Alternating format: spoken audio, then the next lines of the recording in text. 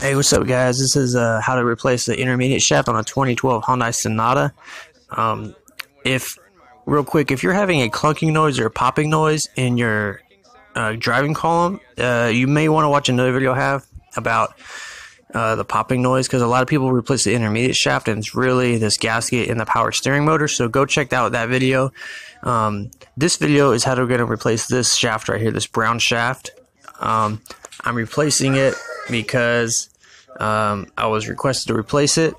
It was for a popping noise, but the popping noise ended up being something else. But I'm going to keep this uh, video anyway just to show you how to do it.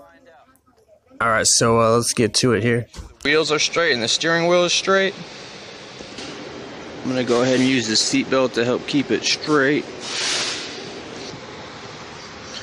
So coming down under here, I pulled this carpet back a little bit so I could see uh, this bolt right here better. There's a 12 millimeter bolt right here, and then the other one is on this U joint, and it looks like it'll be a 12 millimeter too. So I'm gonna go ahead and get, uh, I'm gonna go ahead and get the top one off first. So I'm gonna go ahead and get my 12 millimeter wrench right here, and uh, it's not a lot of room. I'm gonna just get it out and then uh, we'll see what happens. Okay guys, so the top one is actually a 14 millimeter bolt and it's right there. I'm gonna go ahead and get that out. Uh, it's a little tight. Uh, I'm gonna go ahead and get it out. Okay, so I got it loose and it seems like just getting it loose is enough to make it be able to move a little bit. Uh, as you can see, it's coming down that shaft a little bit. See?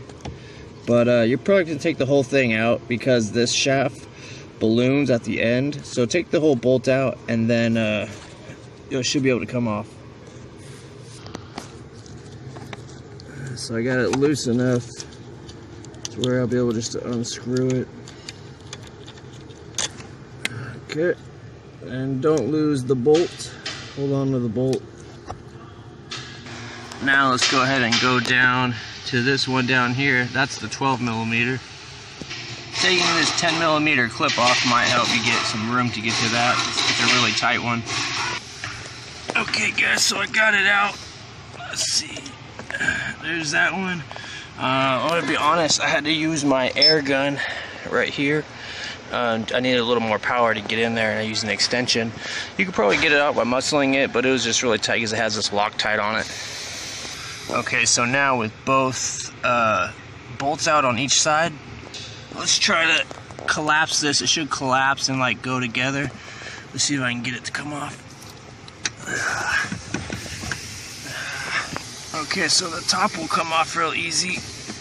Uh, top comes off. And so it'll collapse down. Now we just gotta get it off the bottom. Uh, uh. Just lift it up.